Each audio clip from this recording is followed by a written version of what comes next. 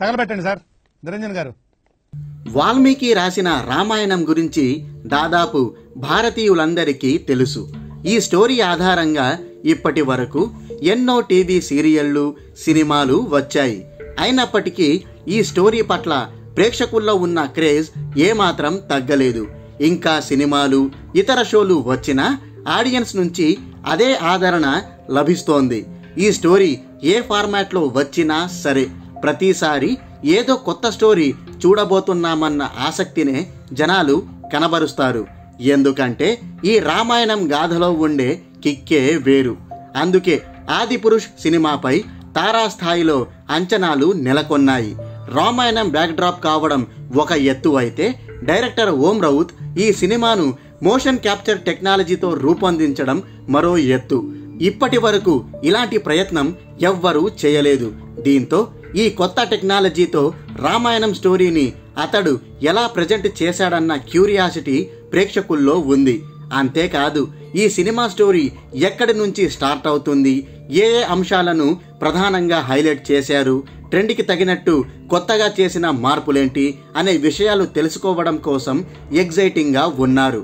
ఈ నేపథ్యంలోనే ఆదిపురుష్ సినిమా స్టోరీకి సంబంధించి ఒక లీకేజీ బయటకు వచ్చింది. మొత్తం రామాయణాన్ని మూడు గంటల్లో చూపించడం అసాధ్యం. కాబట్టి డైరెక్టర్ ఓం రౌత్ తెలివిగా కేవలం కొన్ని కీలక అంశాలే తీసుకొని ఈ సినిమాను తీర్చిదిద్దాడని తెలిసింది.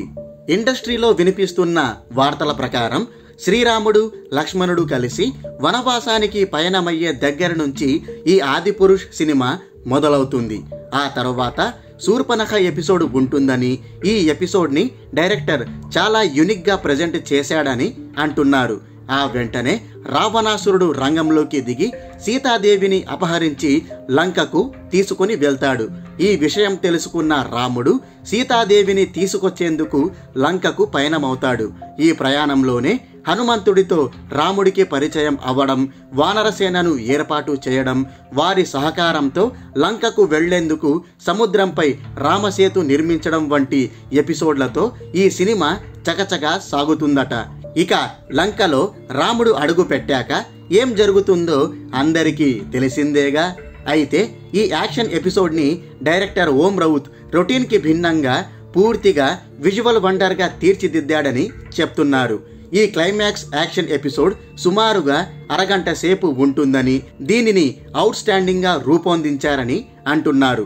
అఫ్ కోర్స్ గ్రాఫిక్స్ విషయంలో కాస్త అసంతృప్తి ఉంటుందని కానీ ఓమ్రౌత్ టీం బెస్ట్ అవుట్పుట్ ఇచ్చేందుకు పడ్డ కష్టం వెండితెర మీద కనిపిస్తుందని పేర్కొంటున్నారు.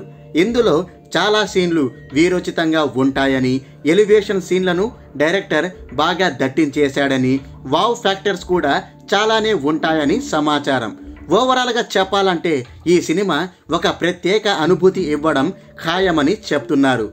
ఒకవేళ ఇదే నిజమైతే మాత్రం బాక్సాఫీస్ వద్ద ఈ సినిమా ఊచకోత కోయడాన్ని ఎవ్వరూ ఆపలేరని ట్రేడ్ వర్గాల వారు అంచనా వేస్తున్నారు. మరి ఈ సినిమా ఎలా ఉంటుందో ప్రేక్షకులు దీన్ని ఎలా రిసీవ్ చేసుకుంటారో చూడాలి.